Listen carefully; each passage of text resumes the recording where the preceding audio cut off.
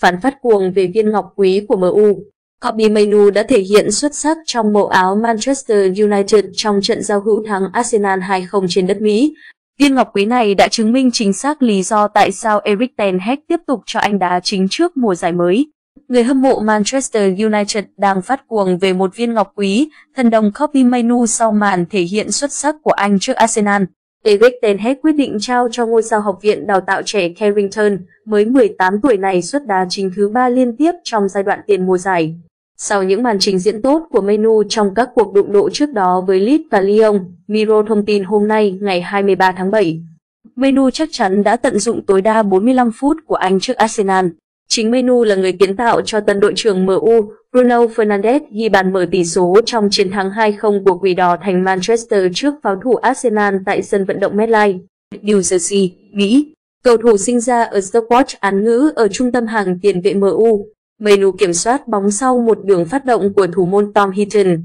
Menu sau đó kiến tạo cho Bruno Fernandes, tung cú dứt điểm hiểm hóc và sắc bén, bằng chân trái hạ gục thủ môn Aaron Ramsdale mở tỷ số 1-0 cho MU sau nửa giờ thi đấu.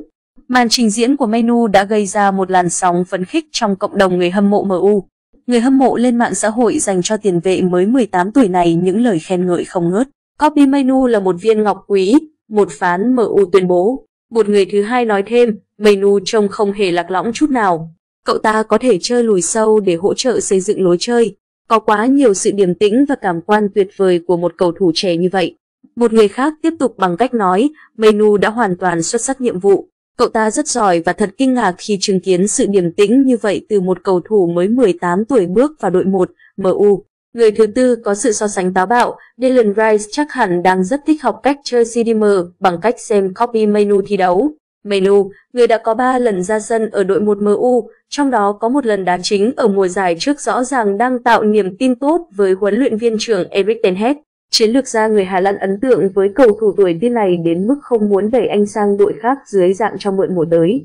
Trước trận giao hữu giữa MU và Arsenal ở New Jersey, huấn luyện viên Erik ten Hag đã được truyền thông hỏi về kế hoạch sử dụng menu.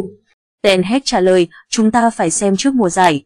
Kobe Mainu có cơ hội vì cậu ấy xứng đáng, bởi vì cậu ấy đã thể hiện điều đó ở đội U21 và trong buổi tập của chúng tôi.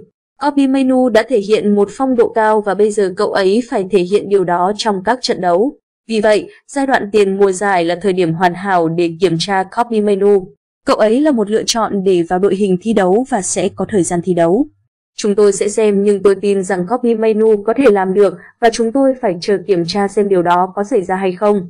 Copy Menu 18 tuổi nằm trong số rất nhiều cầu thủ trẻ của MU, gia nhập đội hình 1 của Erik ten Hag trong chuyến du đấu tại Mỹ trước mùa giải mới. Thủ môn Nathan Bishop và Radek Vitek, hậu vệ trái Alvaro Fernandez, tiền vệ Zango và Hannibal Mepri và tiền đạo Omari Forsen đều sẽ muốn thi đua với Menu bằng cách gây ấn tượng với cả huấn luyện viên. Erik ten Hag và hàng triệu người hâm mộ đội chủ sân Old Trafford